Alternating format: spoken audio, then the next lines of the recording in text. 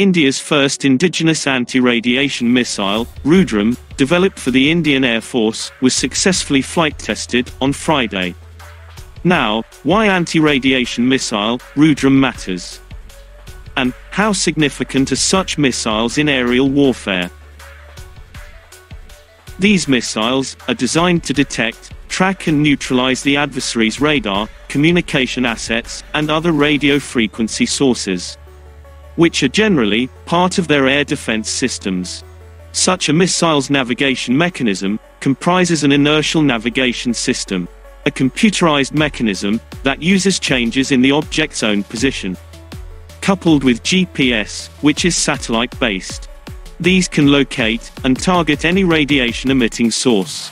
It can play a key role in neutralizing any jamming platforms of the enemy or take out radar stations thereby, clearing a path for own fighters to carry out an offensive, and also prevent own systems from being jammed.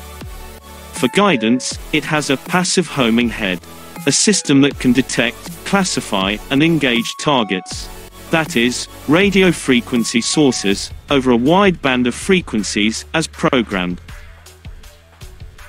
It is capable of striking accurately even if the radiation source switches off, in between. The missile has an operational range of more than 100 kilometers, based on the launch parameters from the fighter jet. How was Rudram developed? It is an air-to-surface missile, designed and developed by the DRDO. Development had begun, by April 2012, at Defense Research and Development Laboratory. The project was officially approved in December 2012.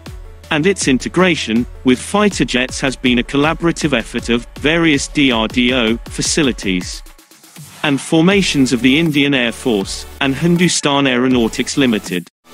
While the system has been tested from a Sukhoi 30 MKI, it can be adapted for launch from other fighter jets, too. The missile has a capability of varying ranges based on the launch conditions. It can be launched from altitudes of 500 meters to 15 kilometers and speeds of 0.6 to Mach 2.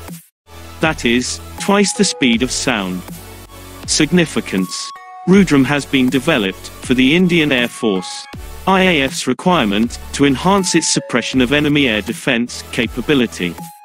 Anti-radiation missiles are used, mainly in the initial part of air conflict, to strike at the air defense assets of the enemy. And also in later parts, leading to higher survivability to a country's own aircraft. Further, modern-day warfare is more and more network-centric, which means it comprises elaborate detection, surveillance, and communication systems that are integrated with the weapons systems. This is yet another test of indigenously developed weapons systems. In addition to the recent tests of Shaurya missile or hypersonic technology demonstrator vehicle, which is an unmanned scramjet vehicle, or the test of flight test of a supersonic missile assisted release of torpedo smart system.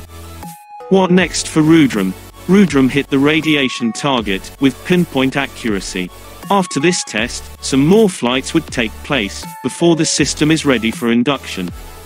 For future development, DRDO is planning to bring software improvements to handle a larger variety of targets under various operational conditions. While developing a separate ground-based variant to be launched from mobile launcher,